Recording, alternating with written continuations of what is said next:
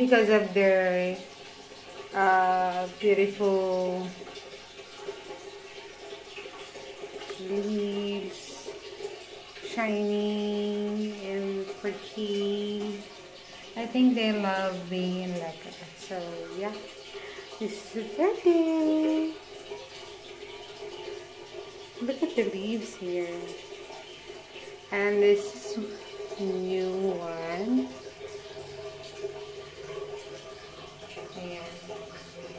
Look at that.